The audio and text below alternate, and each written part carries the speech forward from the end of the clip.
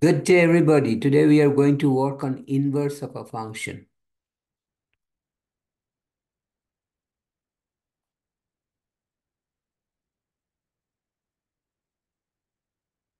Show the functions f of x equal to 3x minus 2 and g of x equal to x plus 2 divided by 3 are inverses.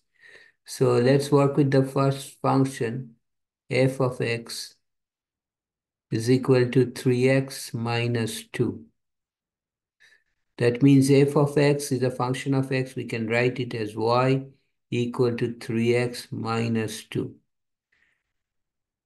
In order to find inverses, in order to find the inverse function,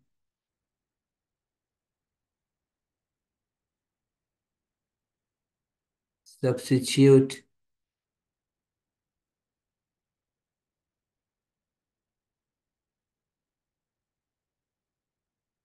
x for y and y for x in the given function. In the given function and solve for y. And solve for y.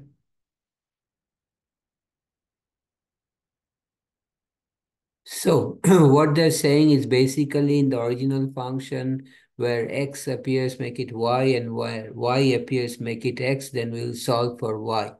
So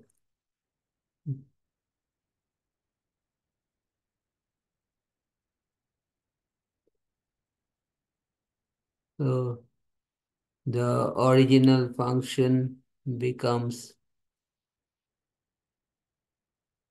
Now, please uh, do not quit right away. Please watch this video until the end. This is a short video and I'll give you an important hint or tip at the end of this program. Also, please subscribe to my channel, Math Science Topia, where I've solved all kinds of algebra problem in algebra problems fold uh, playlist. Okay.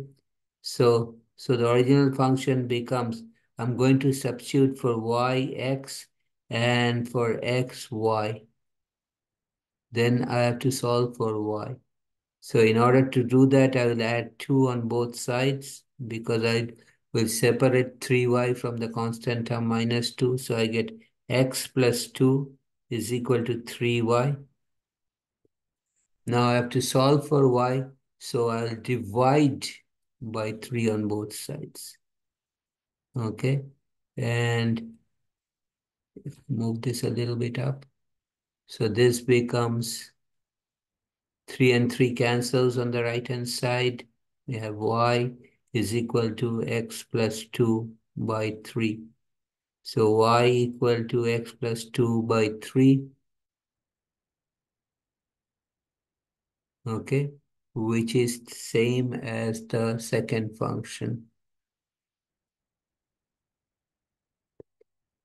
Which is same as g of x.